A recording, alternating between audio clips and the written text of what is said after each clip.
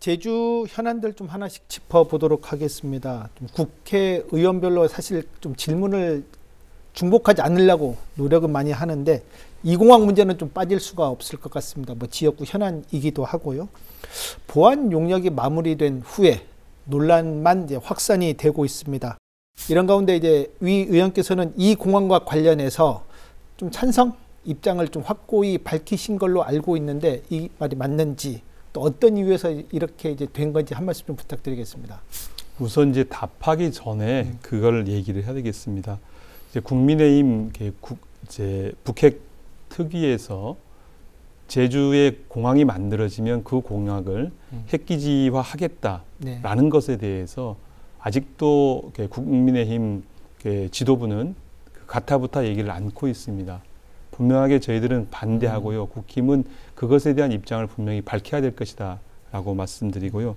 두 번째로는 국토부와 환경부가 지금 이제 보안 영역 결과를 그 갖고 있는데 그걸 공개하고 있지 않은데 제주도에서 공개 요청을 하고 있는데 그 공개를 안 하는 이유를 잘 모르겠습니다. 네. 그 공개를 해서 시민의 검증, 도민의 검증, 전문가들의 검증을 받아야 되는데 음. 그렇게 숨기게 되어지면 결국 공항을 추진하는 데 있어서 도민의 신뢰를 획득하는 데 더 어려움이 있을 것이다 네. 라고 생각이 음. 되어집니다. 그래서 이 자리를 빌어서 어, 국토부 원희룡 장관께 어, 관련 내용을 공개할 것을 공식적으로 요청을 드립니다. 어, 공항과 관련되어서는 저는 일관되게 공항 시설 확충이 필요하다라고 얘기해 왔고 네. 어, 충분한 정보 제공 그리고 절차적 정당성이 지켜져야 되고 음. 또 도민 합의가 필요하다라고 말씀드려 왔습니다. 예, 그런 입장을 얘기를 했던 거고요. 음. 저는 이제 공항이 어, 만들어진다고 도민적 합의가 이루어진다면 그건 이제 성산에 만들어지는 게 음. 맞다 이렇게 생각을 합니다. 왜냐하면 지난 8년 동안 관련 논의가 있었고 그것 때문에 갈등을 해왔는데 다른 곳으로 부지를 옮긴다라는 것은 적절하지 못하다 이렇게 생각을 하고요. 어, 앞으로 이제 그 절차적으로 그 전략 환경 이만큼 끝나고 기본 계획이 수립되어지고 다시 환경 영향 평가 동의안이 네. 우리 이제 도의회로 들어오게 되어지면 제주도가 그리고 제주도 의회가 판단해야 될 일이고요. 네. 이제 그 판단의 과정 안에서 그 제 입장도 더, 더욱 명확히 좀 말씀드리고 음. 하도록 하겠습니다. 예. 네, 그거에 대해서 아까 의원님께서 뭐 국힘 그 제주공항의 군사공항 패키지 문제는 어저 그 지난번에 저 국힘 그 합동 연설회를 앞두고 비대위가 네. 비대위를 제주에서 했는데 거기에서 순수 공항 민간 공항으로 하겠다라는 네. 입장을 뭐 밝힌 게 있어서 정지석 위원장이 네, 예. 그래서 뭐. 그거 갖고 뭐 논란은 벌일 건 아닌 것 같고 음. 그쪽을 믿어보는 게 나을 것 같고 음. 대신 아까 말씀하신 대로 네. 어, 비대위가 그다음 회의가 아닌 공식적으로 어떤 뭐 성명 또는 논평을 발표해서 해주면 더 좋겠다라는 생각은 저도 하고 있습니다. 그 명, 그 비대위, 비대위 이제 국민의힘의 입장이 아니라 사실은 예, 저희들은 이제 뭐 국방부나 이쪽의 입장들이 이게 포함된 게 아니냐라는 생각이 들고요. 저희는 이제 음. 고당에서 정부 고당에서 네. 그 총리가 포함되어진 고위당정 회의를 하거든요. 총리 그 다음에 네. 어, 비대위원장, 뭐 원내대표, 정책위 의장 이렇게 해서 고당을 하건데요. 그런 공식적 기구에서 얘기를 해야 된다라고 음. 생각이 되어집니다. 예, 이렇게 그 논란이 불거지자마자 이제 그 한기호 그 위원장은 뭐 아니라고 네. 발뺌하지 않았습니까? 그런데 실제 회의 자료였고 공식 회의 자료, 회의 문건이었는데 네. 그렇게 발뺌하는 거 보면 신뢰하기가 좀 어렵다 이렇게 음. 생각이 됩니다. 네. 그 송재호 의원께서 본 방송에 출연해서 공항 국토부가 국토부의 전략 환경 평가가 환경부를 통과해서 추진을 하게 되면 입지를 재검토를 해야 된다라고 입장을 밝히셨 공식적으로 밝히셨는데 의원님은 어떻게 생각하십니까? 뭐 그것에 대해서 논평하기는 좀 그런 것 같고요. 어 저는 어 그동안 이제 성산 지역의 주민들 안에서 갈등이 많았고 새로운 입지를 대어진다라면 또 그만한 새로운 갈등을 야기하기 때문에 어 갈등 비용을 추가로 어 지불하는 것은 좀 부적절하다 이렇게 생각을 합니다. 음. 근데 이제 당 같은 이제 또 공항 문제가 같은 당내에서도 의원님 의원님들끼리도 조금 이제 입장이 틀린데 이게 다시 추진이 된다라는 전, 이제 전제지만 추진이 된다고 했을 때 지역 간 갈등으로 번질 우려도 또 제기되고 있는데 거기에 대해서는 어떻게 대처를 하실 생각이세요? 현실적으로 지금 제2공항을 둘러싼 갈등 구조 안에 지역구 지역 간의 갈등도 일정 존재하죠. 그러니까 성산공항을 이제 반대하시는 분들 중에 그 이제 어 서쪽에 계신 분들이 좀 더 그 반대 성향이 높고 그 동쪽에 계신 분이 찬성 성향이 높은 이런 지역 갈등 구도를 갖고 있기 때문에 그 안에 포함되어진 정치인들 입장이라는 게 좀 존재하리라고 보아지고요. 저는 그것을 반영하는 정도라고 얘기되어지고 뭐 이제 저희 국회의원 셋이과 그리고 이제 오영훈 지사 그리고 도의 저희 당의 의원님들과 함께 모여서 이러 이 문제에 대해서 머리를 맞대고 결정할 수 있다고 생각이 되어집니다.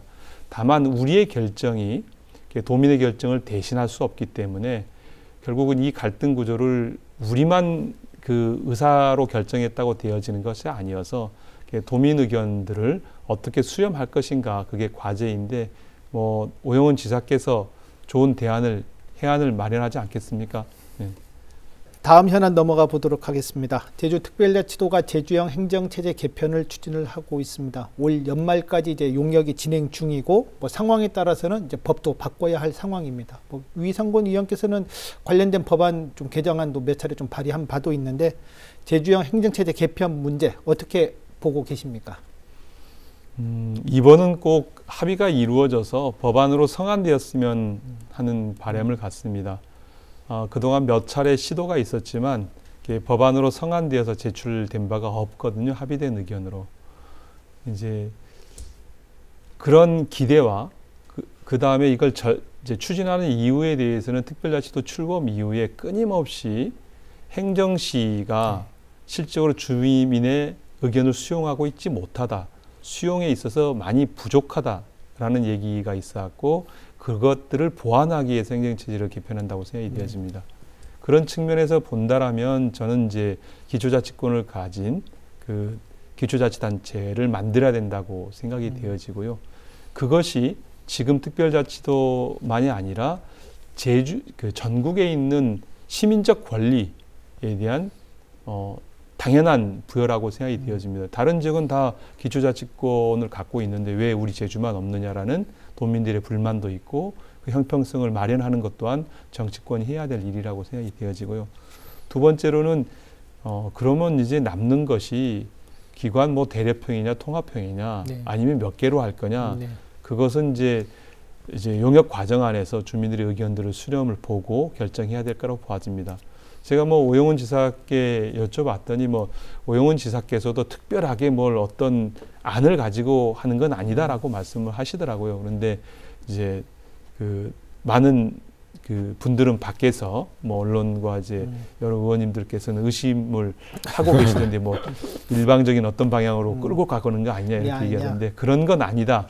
예, 전 제가 확인한 바로는 아니었고 그래서 의견이 수렴되어지면 적극적으로 저는 이제 그것이 그, 그 법, 법률화되어서 시행될 수 있게끔 최선을 다하려고 합니다.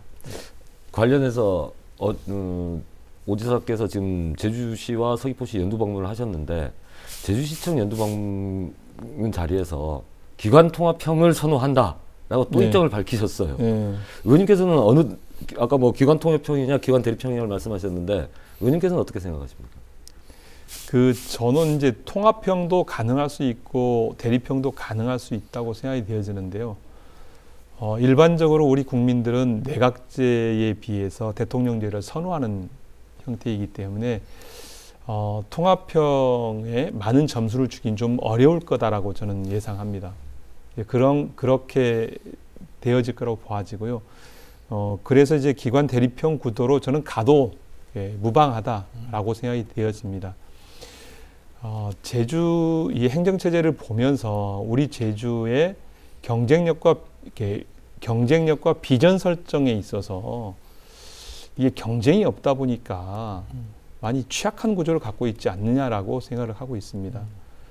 어, 네 개 시군에 일개 도일 때는 다섯 개의 지방자치단체가 서로 경쟁하고 네. 견제하고 그래서 새로운 비전을 만들려고 하고 음. 이랬는데 지금은 하나로 정리돼 있어서 서로 경쟁할 이유가 별로 없는 상황입니다.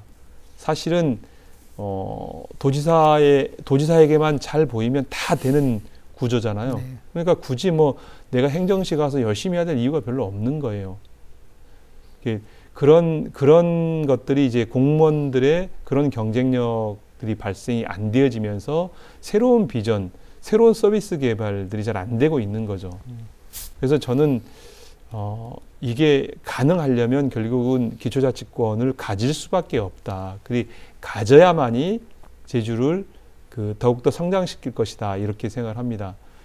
어, 큰, 뭐, 큰 그림으로 사실은 그 제주 특별자치도를 출발하면서 고민의 정부의 고민은 전국을 80개 정도 특별자치도처럼 만들어서 운영을 해보겠다라고 했는데 이걸 사실상 폐기를 했기 때문에 에, 정부가 우리가 기초자치권을 부활하는 것에 대해서 반대할 이유가 전혀 없는 상황이다. 저는 그렇게 생각합니다.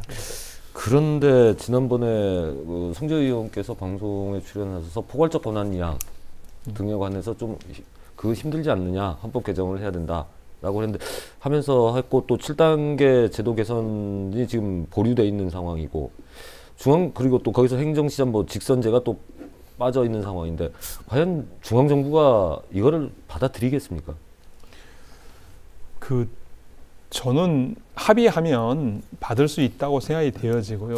다만 행정시장 직선제는 제가 어, 행자부 공무원들과 행안부 공무원들과 논의해보고 그쪽과 논의해본 결과는 예, 매우 어렵다. 그렇게 판단을 했습니다. 왜냐하면 기초자치단체 부활을 하는 것은 그냥 이제 법인격만 부여하고 의회만 만들면 기존에 있는 시스템대로 다 운영 가능하거든요.